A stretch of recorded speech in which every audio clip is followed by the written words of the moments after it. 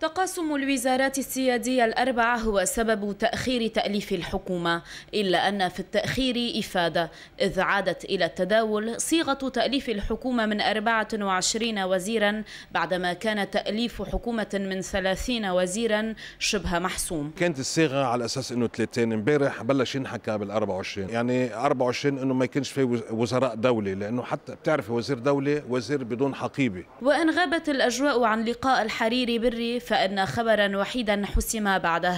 على حد تعبير خريس. هذه الوزارة محسومة.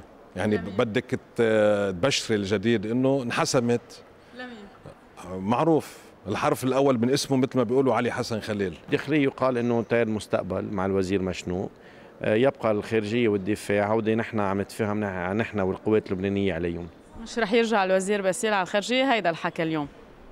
ما بعرف. بعد ما عندي جواب نهائي. والخلاف الأكبر يقع على الوزارة السيادية التي ستكون من حصة القوات اللبنانية. إنه حدا سمع تصريح أو موقف من حزب الله عم يقول إنه أنا برفض رفضا قاطعا آه، تمثيل آه، فريق معين أو حزب معين أن يكون بهال آه، بهالموقع أو بهالوزارة؟ هذه كلها إشاعات. ما عندنا ابدا جو فيتو من قبل أي فريق ضد القوات اللبنانية تكون الأمور واضحة.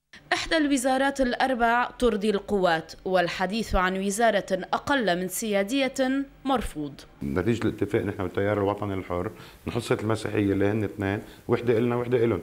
نحن ما صعبناها على حدا. إذا ما أخذتوا وزارة سيادية بكل بساطة. رح ناخذ هلا إيه إيه رح ناخذ يعني طرح إنه القوات اللبنانية ما تاخذ وزارة سياديه مش مطروح غير وارد. لم يتبلغ حزب القوات اللبنانية رفض حزب الله استحواذه على وزارة الدفاع إلا أن القبول سيكون ضمن شروط محكمة وحتى الآن المفاوضات جارية. ليال سعد قناة الجديد.